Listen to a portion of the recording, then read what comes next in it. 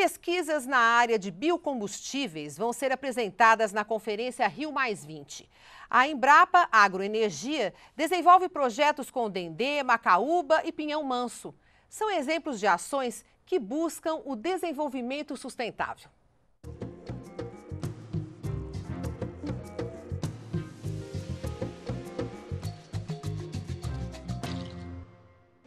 Quatro laboratórios de energia, de resíduos, de análises e bioquímico. Matéria-prima à disposição de uma equipe de 32 pesquisadores pacientes. E pronto, estão aí as condições que podem render boas ideias. É assim que a Embrapa Agroenergia trabalha na busca do desenvolvimento sustentável para o país.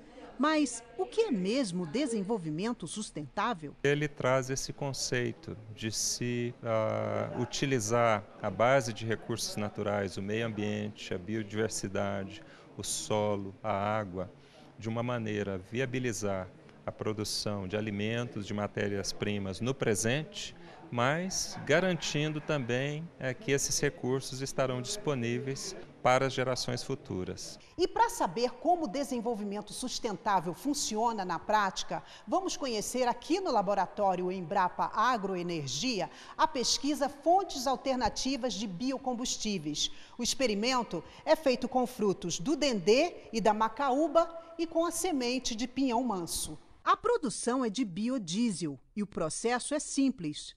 Frutos e sementes são moídos. O pó vai para este extrator de óleo com outros produtos químicos. O resíduo vira vapor e o óleo se concentra no fundo do balão. Essa primeira etapa dura mais ou menos seis horas. Depois disso, o óleo já pronto é colocado neste reator.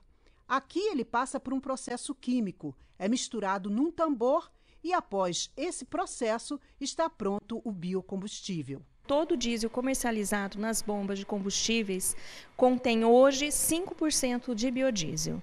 A equipe de pesquisadores também se preocupa com os resíduos que sobram da produção. A ideia é agregar valor econômico aos produtos. O resíduo da macaúba é transformado em suplemento vitamínico e sabão. O de pinhão manso vira lenha ecológica. A utilização do resíduo de dendê ainda está em pesquisa. Hoje, esses e outros experimentos tiveram destaque especial na comemoração dos seis anos de criação da Embrapa Agroenergia, que só em equipamentos e infraestrutura recebeu investimentos de 35 milhões de reais. Os experimentos de fontes alternativas de biocombustíveis deverão ser levados para a Conferência das Nações Unidas sobre o Desenvolvimento Sustentável, Rio tanto para a produção de biodiesel quanto de etanol, hoje na linha de frente está a diversificação de matéria-prima e nós estamos trabalhando e já levando alguns resultados nesse sentido. Né?